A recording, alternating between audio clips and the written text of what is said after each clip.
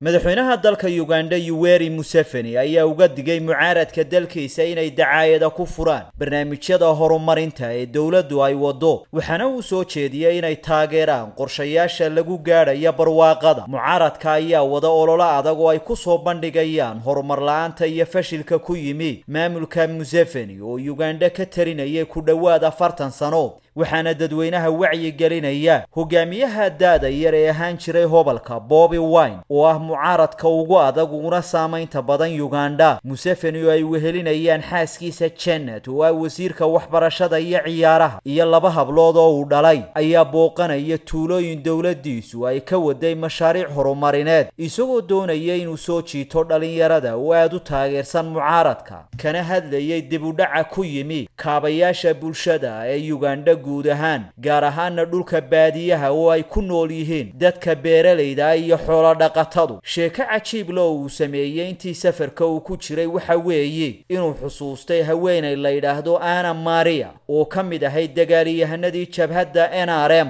ee uu hogaaminayay museveni. Waxaana gabadhani uu siiyey guri iyo gaadhi kadib siddeed iyo soddon sano xukunka uu hayay. Taasoo dad badan ay ku tilmaameen midaan hadda loo baahnayn laakiin uu ku doonayo madaxweynuhu inuu ku soo jiito dad. Museveni waxaa khudbadaha uu jeediyey intooda badan halkudhig u ahaa ha dooranina mucaaradka diidan barwaaqada. Waxaana dadka siyaasadda falanqeeya ay sheegeen in tani ay keentay kulayl siyaasadeed oo uu dareemay hogaamiyaha siddeetan jirka ah oo la sheegay. In talada uu diyaarinayo wiilkiisa jenaraal muhasi kaynu rugaba oo ah taliyaha ciidamada qalabka sida maasha allah soo dhowaada la jaanqaad shirkadda telesom maxmil waxay kuu diyaarisay adeegga internetka ay faibar optiga kaasoo xawaarihiisu kala go' lahayn.